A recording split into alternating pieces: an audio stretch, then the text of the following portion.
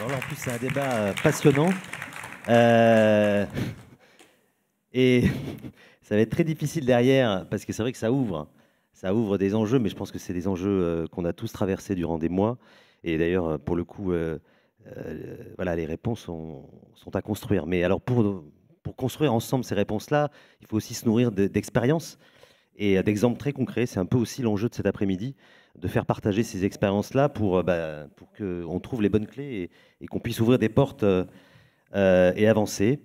Bah, j'appelle donc Axel Benaïch, co-directrice de la Fabulerie, fondatrice et co-directrice de la Fabulerie. Et Stéphane Delahaye, délégué régional d'Arsenic. Ah Chacun a bien rempli la salle.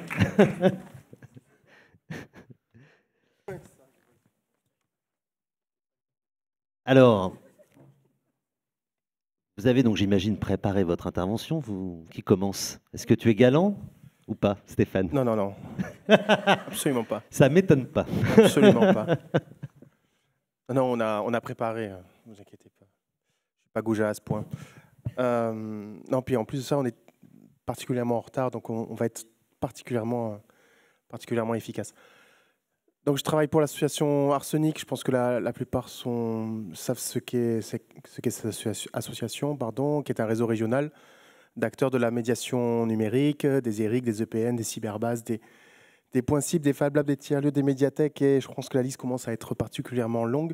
Donc, euh, on, travaille évidemment sur les questions de l'Internet citoyen, ce qui nous réunit euh, ici, ici aujourd'hui. Et du coup, euh, je pense qu'on va d'ailleurs essentiellement euh, se concentrer sur le, sur le travail euh, d'Axel. Moi, ce qui. Euh, comment? La fabulerie d'Axel, et à travers toi, la fabulerie et design de Future Now. non, moi, ce que je, voulais réagir par rapport donc, à, ce matin et à ce que vous, vous venez de dire. Et peut-être, ça, ça, fait lien avec quelque chose que j'ai lu hier soir. Et pour ceux qui me connaissent, ça va peut-être les étonner. ça parle d'économie. Euh, et c'est, là, je ne sais pas si vous le savez, depuis hier et aujourd'hui, il y a les universités euh, du numérique du MEDEF. Donc il y a quelques communiqués de presse, il y a, il y a tout un site qui est, voilà, qui, est, dédié et qui diffuse pas mal d'informations.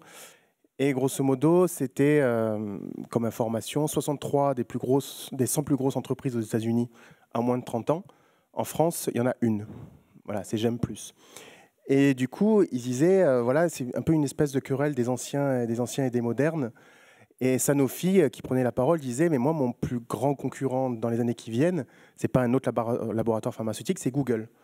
Parce que Google s'intéresse à la santé, et du coup, ça, me pose des questions par rapport à mon cœur de métier. Et pourquoi je vous dis ça, c'est que je reboucle, je, suis aussi élu, local, donc ce dont vous, parlez m'interpelle. Et euh, voilà, est-ce qu'il y a les médias traditionnels?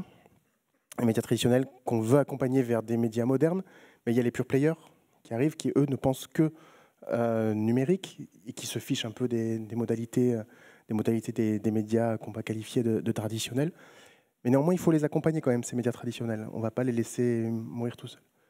Et donc, il y, a tout un travail euh, à faire d'éducation aussi de, ces managers, donc de ces salariés-là, et aussi d'accompagner leurs lecteurs. Parce qu'il va falloir aussi qu'ils comprennent ce qu'étaient ces, médias-là et leur, histoire. Et du coup, vous allez voir la transition comme super forte. En discutant, discutant avec Axel, on se disait bah, effectivement, une grande partie du travail que, que vous effectuez à la fabulerie, c'est d'accompagner des structures qu'on peut qualifier de traditionnelles vers ces nouvelles pratiques-là. Et ce n'est pas que les structures, c'est surtout leur public. Que les publics se réapproprient et redécouvrent leur lieu à travers des usages des usages numériques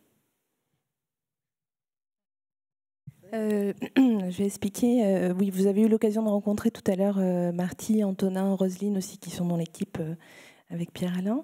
alors effectivement, oui, c'est vrai qu'on se, enfin, on a un postulat assez fort que le futur nous appartient, qu'il faut se mettre en capacité dès maintenant d'organiser, d'imaginer, de préfigurer en fait les services et le monde dans lequel on va vivre demain. Et donc pour cela, c'est vrai qu'on s'appuie sur, les médias, en fait, qui pour nous un facilitateur, euh, comme le design, comme euh, les sciences humaines. Euh, et c'est vrai que le numérique, ben on essaie de trouver de s'appuyer là-dessus, sur ce potentiel-là, pour essayer de à la fois créer des espaces de dialogue, à la fois permettre à ceux qui ont des idées de les exprimer, de les partager, et puis surtout de les mettre en, œuvre de façon petite au début peut-être, mais en tout cas de façon concrète. Et ça va être l'éducation, on parlait d'éducation et c'est aussi le sujet, et euh, ça va être l'apprentissage par le tacite, par le faire. Enfin, c'est vraiment ce qui constitue euh, notre ADN.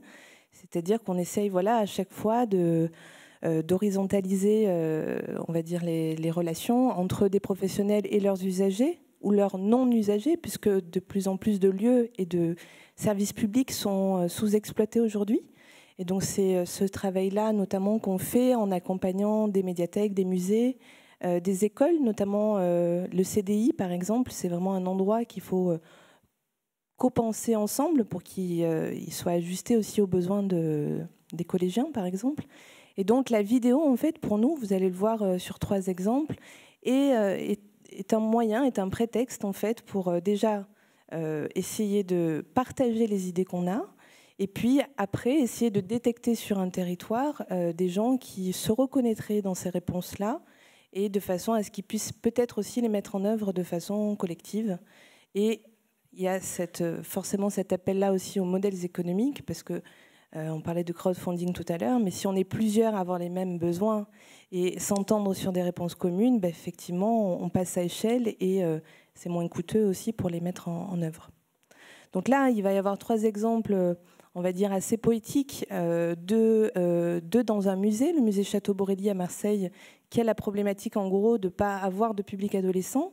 Donc comment, bah, ensemble, on a imaginé avec des jeunes et puis des professionnels des scénarios de médiation numérique qui pourraient peut-être leur donner envie de, revenir un peu dans ce musée qui souffre aussi d'une image un peu à mémé, puisque art décoratif et compagnie.